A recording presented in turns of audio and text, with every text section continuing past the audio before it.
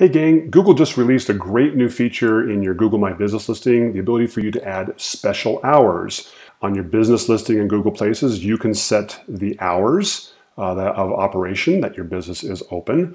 Uh, but what happens if there's like a holiday, Thanksgiving, Christmas, or you have a staff retreat or something?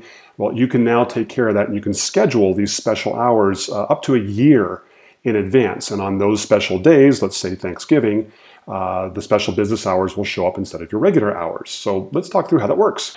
There's two ways that you can do this. Uh, if you're managing a bunch of listings, you can upload these via a spreadsheet. Uh, or if you're managing just a couple of businesses, you do it directly online in the Google My Business site, you can do that as well. So let's go through that process. You log into the Google My Business section, and then there's two views. This view right here is the card view. If we go in and try to manage the location in the card view, and we edit the information.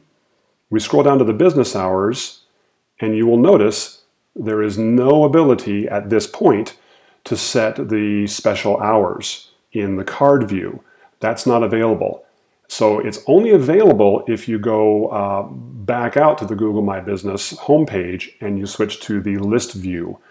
Click on your listing, scroll down to hours, and you will see below hours, there it is, special hours. Again, this is only available in this view.